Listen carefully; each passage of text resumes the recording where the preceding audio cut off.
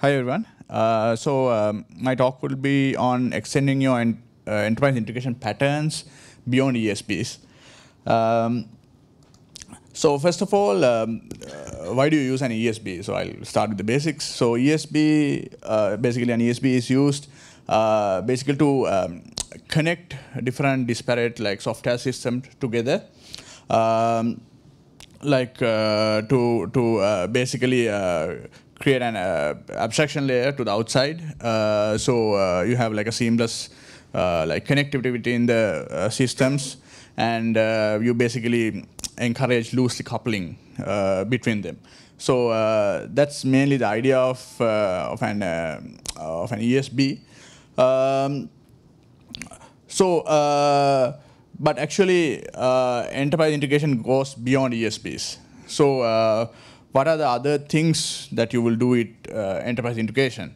So, uh, so there are other complementing features for enterprise integration, like, uh, for example, uh, I have listed a few here: data integration, like messaging, uh, business processes, complex event processing, uh, like monitoring features, tracing, and so on. So all of these also come into your enterprise integration solutions. So I'll go through uh, each of these uh, one by one with some additional information. Uh, so uh, data integration. So um, if you if you take the WSO2 solution on um, uh, enterprise integration, our WSO2 EI uh, product, so we have built-in data services features as well. So other than the, the typical ESB features like for um, like you would have for like uh, message routing, transformation, uh, protocol switching, and so on. So other than those typical ESB features, so um, another critical thing that you would uh, need is uh, data access. So everything starts with data, and like basically um that's the the basic building block for everything.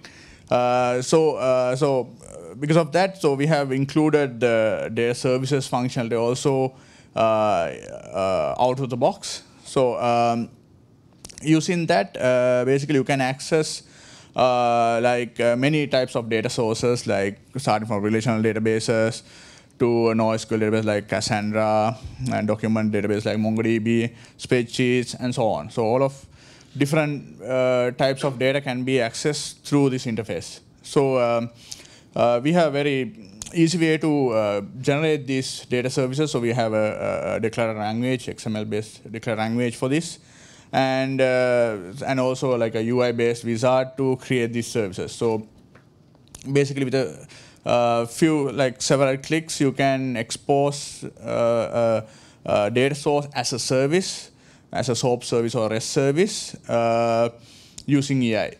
So. Um, uh, so let's uh, go into some of the specific features we have there. So we have like uh, uh, data security uh, features like uh, uh, transport level security, uh, uh, authentication, uh, like uh, and for uh, filtering capabilities we have like role-based uh, access controls uh, features. So that's that is like uh, if you have several like specific fields uh, that you don't want to expose to the outside uh, where, uh, with uh, with the with the authentic with the user roles that uh, the authenticated user would have. So that kind of things can be done here, and uh, also. Um, transaction. So transaction is an important thing when you work with data. Uh, so um, we have um, uh, with uh, local transaction, we also have distributed transaction support as well uh, because in the data service we have the way to uh, group requests together and to do bulk requests, bulk updates.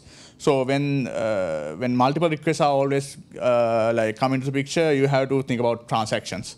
So we support like uh, uh, XA transactions with data services. So if you have a typical uh, uh, JDBC drive which supports XA data sources, you can use that in data services. And um, when you use like multiple databases and so on, you can make sure everything happens in a single global transaction. And uh, also data federation. So um, uh, so we have uh, like a easy way to uh, uh, like merge, uh, like read data from multiple data sources in a single data service and combine them together. So using our uh, different queries and operations, we can uh, combine multiple queries and get a single uh, federated result from data services. And of course, so um, uh, so when we are using uh, data service, so we, the, the requirement comes also to uh, work with large data sets. So, so then the data the streaming becomes critical. So uh, we have data streaming support also. So uh, for XML and JSON. Uh, so if you have like a, a compatible data source like RDBMS or Cassandra, like that, can have the data, the result set as big as you want, and it will just stream to the uh, client. So, um, and uh, so with these features, basically, uh, the idea is to, uh, by using the ESB's inbuilt other features, uh, you can create uh, much more higher level, like advanced features. For example, if you want to create like specific like master data management features or change data capture, or something like that. You can like mix and match the features that they are in the ESB and data services, and you can create these solutions. So uh, it's just a matter, matter of uh, uh, uh using the right features uh, together. so uh, yeah, then we move on to messaging features that we have. So um, so in the EI, so we have uh, integrated our uh, message broker uh, product as well, the features into the uh, EI product. So um, there you basically get um, the message brokering uh, features out of the box from EI. Uh, so you don't have to install it separately um, and use it. So um, so messaging is a very important part in your like in enterprise integration. So um, as I have listed down here, like uh, these aspects are critical to specific situations like asynchronous messaging, uh, reliable messaging, uh, uh and um, scenarios like you want to do like point-to-point -point messaging versus like pub-sub scenarios. So and also other things like um, request data, request rate matching. So I'll go into this in detail a bit. so um, asynchronous communication is basically, uh, so the usual one, uh, request response. Synchronous one is um, when you do a, a, call to a remote uh, entity, that that service or, or uh, someone should be live at that moment. So for you to get the response at that time, or else it'll it'll immediately fail. So, uh, but uh, that's not the case always in real life. Like sometimes temporary the, the target endpoint can be down it will not be available at right at that moment, and so on. So, um, so messaging then sometimes has to be asynchronous. So that means uh, you will send the message uh, to some uh, reliable source, and uh, we will get the uh, we will get the, uh, the, the, the notification saying that it will be sent to the target when it's available. So that's what's happening with the synchronous message. So you have you can see here uh, an example of asynchronous messaging is like email. So uh, uh, email is sent to like a central server first, and the, the recipient gets it later when he's checking the mail. so likewise. So um, so there are scenarios like that where this is very useful in the when connecting two systems together. And uh, another thing is uh, reliable messaging. So um, uh, of course, uh, the, the, the, usual um, uh, request response paradigm, so if you are using a, a, a typical transport, you may not always have the reliable aspects when you are doing the messaging. Um, that is, uh, if you are sending a message to someone, you may not know whether it got delivered or not. You may be unsure like what really happened. Uh, so uh, you have to like stop situation like multiple messages uh, being sent to the uh, target uh, and so on. Uh, so to be sure about uh, to be sure uh, on that not happening, so we have to use a reliable messaging mechanism. So the mes message broker provides that using this approach. Basically, we first send the message to the broker, and it sends an acknowledge saying, "Okay, I got the message." And uh, after that, uh, so the, the recipient or the, the target service basically gets the message from the broker, and only after it consumes the message properly, it will send the acknowledge and uh, uh, like uh, that will basically delete the uh, message from the broker.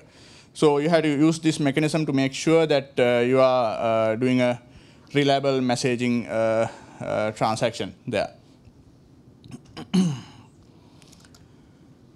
so um, another thing is in messaging, so we have uh, two modes of op operating. So with either using queues or topics. So you basically use queues when you want to do like point-to-point messaging. Uh, so point-to-point -point is basically you have a single consumer uh, where uh, it will be consumed by only a single, uh, uh, sorry, a single producer, and only a single consumer will be using that one message. So uh, so if you have a set of messages being sent to a queue, uh, you can have multiple consumers, but uh, they, uh, they will load balance uh, through all the messages. So uh, basically the same message will not be sent to all the consumers. Um, so the other thing is true for topics. So that's actually a one-to-many scenario. So so there what happens is we send a message to a specific topic uh, which can be a hierarchical topic also.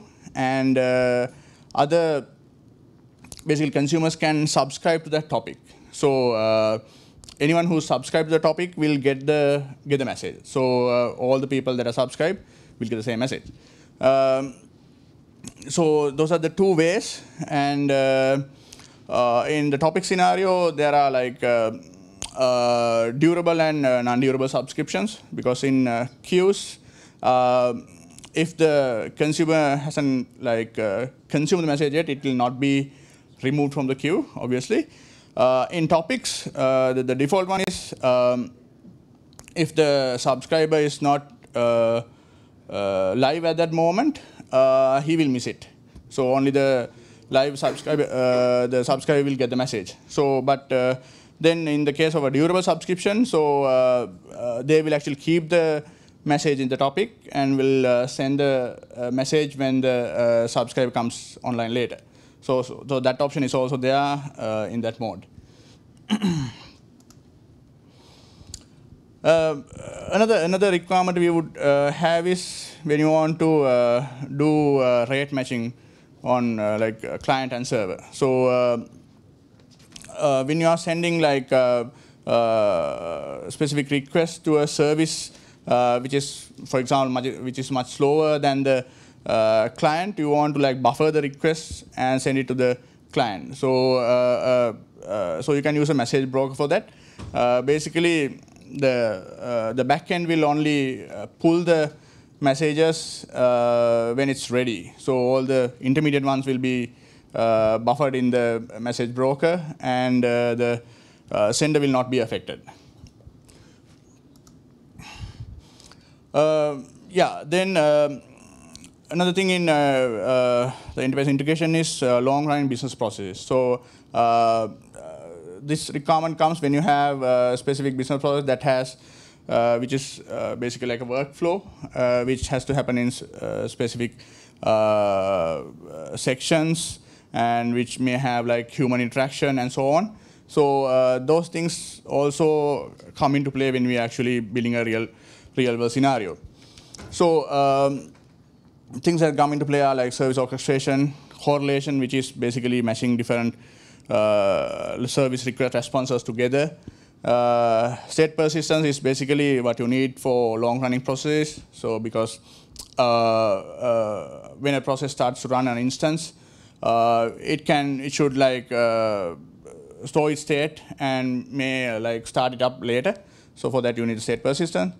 And as I said, uh, if humans are uh, brought into the scenario, you need like things like human tasks and so on. And uh, so the supporting technologies for these are, so what we support in EI also, uh, BPEL and also uh, BPMN. So you can use either one of these to uh, create your workflows. So uh, this is a simple example on how you would use a business process. So uh, business process, uh, process basically uh, do the orchestration. So for example, here it's like a account opening uh, workflow, which uh, talks to different uh, like multiple endpoints and get the work done. For example, account opening, you may talk to a, a data service uh, to create the, uh, the database entries for the account, and an ESB uh, to do the, the, the other account opening logic, and another service to do like card issuing and so on and so on. So, so basically, what the business process does is like talk with these multiple endpoints and uh, make a, a, composite application. um, another thing is, uh, so analytics uh, is become like a, integral part of your uh, like a digital business. So in your uh, integrated solution, always um, the the analytics will give you the value addition you need to go to the next level. So uh, uh, one of the ways of doing that is complex event processing. Uh, so uh, with that, you can do like uh, uh, in your integration system, you can find patterns from specific events that are happening in the system. so and you can do things like which like throttling, anomaly detection, and so on, which can be very useful in optimizing your system. so so in EI, we have uh, some uh, a few out-of-the-box analytics built in using our uh, real-time analytics. Uh, so one is the business process statistics. So here they give you statistics on like uh, how the business process, uh, the instances are working, the, the, the average execution times, if they have worked with like have human interactions, how many times, and so on. So all these stats can be uh, like calculated and visualized in a dashboard like this. So in the same way, uh, we also have for the ESB profile as well uh, for the stats, uh, like the requests, like the failed events, what are the other anomalies that are happening, and so on. Uh, as for uh, throttling, so um, we can we, we have extensively used the complex event processing for our API throttling feature as well. So um, in uh, if you look at our API Manager product, uh, so which is basically uh, housing our the, the, ESB engine, um, it's also doing the API throttling via our real-time analytics. So any request throttling and like anomaly detection and so on has been done with this analytics. Um, so yeah, this is another extended example of how anomaly detection is done. So uh, using our CEP features, so uh, we have uh, made several solutions to do uh, like anomaly detection using the, uh, the, the messages being stored and so on. And uh, yes, other um, nothing is uh, specific service monitoring. Uh, so uh, so we use both batch and real-time analytics for this. Uh, so uh, to build specific KPIs like the, uh, the, the service request response, failure rates, the average response times, and so on, and also the service health. So using these analytics mechanisms, we have created these dashboards to be available. So uh, then another important thing is uh, in your uh, integration solution is tracing. So uh, you may uh, like mostly want to do this uh, like for uh, like internal like uh, the service audit purposes and so on like to see what's actually happening with your uh, service request where it's going what has gone wrong and so on so so this is also available out of the box in our EI product so so basically what it does is when requests are going through your uh, uh, like integration platform. Uh, so the each individual touch points basically emit events to be correlated at your analytics solution. So uh, we basically get events from all over the place uh, places and uh, we combine them to give like a like overall tracing view on like what has happened in your system so um, I'll give an example on that also so this is what basically happens in our ESB message mediation tracing. Uh, so um, if you get a ESB message uh, mediation flow uh, sequence. So each of the mediators, uh, we can track what's, what has gone through, uh, what the events and the messages have gone through the mediators, uh, debug them, and see where the problems are, and so on. So basically, from this, you have the full view of what has happened through the uh, through your integration platform.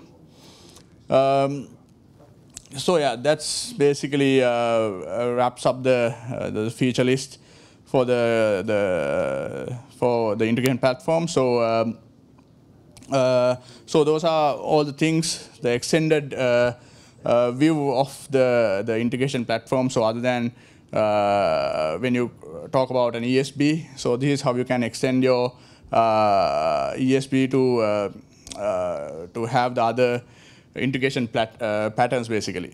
So I hope you find it, found it useful. Thank you.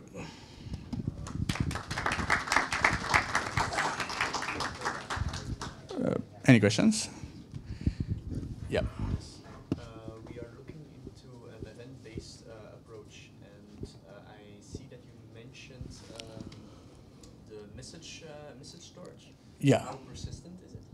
Uh, it's basically backed by a, a, relational database, so it's a persistent message store. Okay. So yeah.